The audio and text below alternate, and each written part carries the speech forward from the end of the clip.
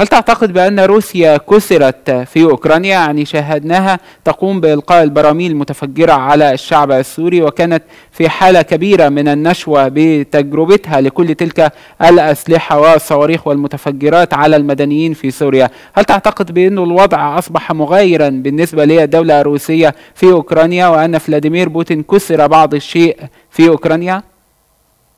أخي الكريم آه، روسيا انكسرت في سوريا انكسرت في ليبيا انكسرت في العراق سابقا آه، وحاليا انكسرت آه، في أرمينيا انكسرت في أوكرانيا.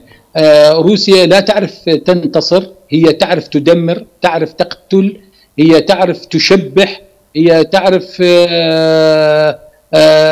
تفتعل أكبر عدد من الجرائم على مستوى العالم.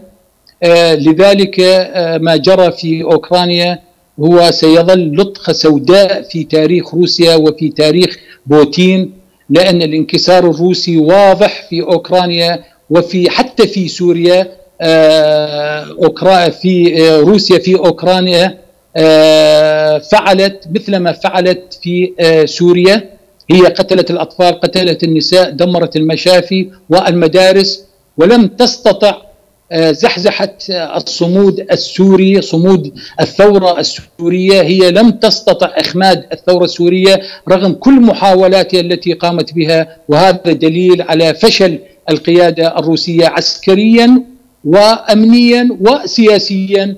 وهذا دليل على التخبط الروسي في كل الدول التي تدخلت بها عسكريا وسياسيا وأمنيا.